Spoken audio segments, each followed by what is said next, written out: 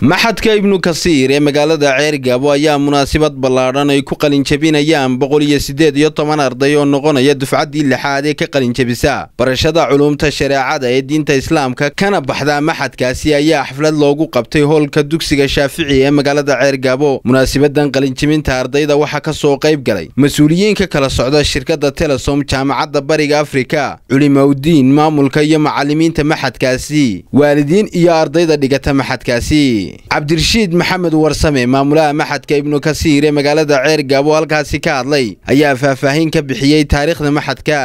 Macadka ibnu kasiir lilculuumi sharciyati walcarabiya laba kun iyo sagaalkii bishiisii lixaad miyay ahayd mise labaad ayaa la aas-aasay dufcaddan hadda maanta baxaysa oo ardada tiradoodu dhan tahay boqol iyo siddeed iyo tobanka arday waa tii lixaad boqol iyo siddeed iyo toban arday dhan yihiin iyaguna. Oo inamiya hablaba isugu jiraan. Waa dufcaddii ugu badnayd ee macadka ka qalinjabisay intaan joogay kolleyba anigu. Ama waxba la odhan karaa waa dufcaddii ugu badnayd ee macadka ka qalinjabisay mar walba. Ay dhaafayaan. Yani shawdka intaa leeg ee macadku gooyey iyo ballaarashada intaa leeg ee macadku ballaadhay ilaahay baa subxaana wa tacaala ku mahadsan. Xubaaqaas yahay waxbarashadu waa waxbarasho. Ummadda in jahliga laga saaraana waa shay wanaagsan oo waajib inagu ah. Haddii doc keliya xoogga la saaro docan la ihmaaliyena doc ka dheelaysa dee dowladdu wax ku darsato marar badan halka waa ka nidhi madaarista iyo macaahidda diiniga inay wax ku darsadaan. Qaar ka mid a ardayda ka qalinjabisay maxadka ibnu kasiir ayaa iyaguna halkaasi ku soo bandhigay. Aqoontii ay ka barteen maxadka ibnu kasiir. Tacliimi shariicata alislaam wawafaqanaa warasaqanaa bifahmiha wayuyasira lana.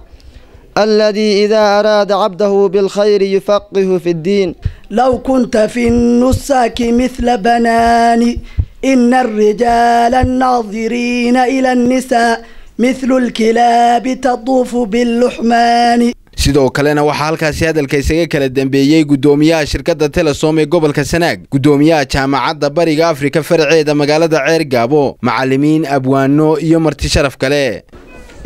Jaamacadda bariga afrika faraca ceergaabo runtii waan soo dhowaynaynaa ardayda waan u hambalyaynaynaa waxaan leenahay insha allahu tacaalaa geedigu waa xidhiidhsan yahay.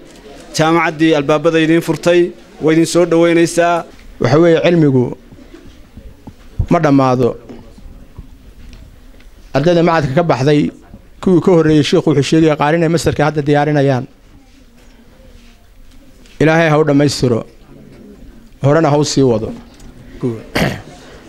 Madaxweynaha jamhuuriyadda somalilan iyo dowladdiisa wasiirada waxaan halkan maxay ahayd oo baaqaan u dirayna uu ku wajahan yahay.